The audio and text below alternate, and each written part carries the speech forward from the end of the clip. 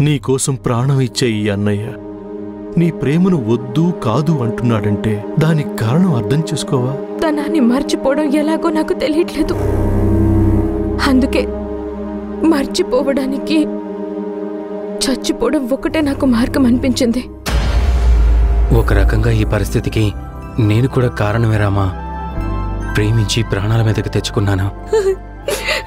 మన కుటుంబానికి అండగా నిలబడాల్సిన ఈ టైంలో అసమర్థుడిగా మిగిలిపోయాను. నా ధనరాజ ధన.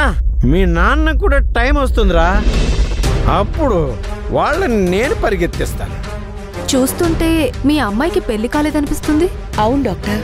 ఏదో ఒక అస్త్రం బ్రహ్మాస్త్రం నాకు దొరక్కపోదు ఏంటి ప్రాబ్లం? మీ అమ్మాయి ప్రెగ్నెంట్.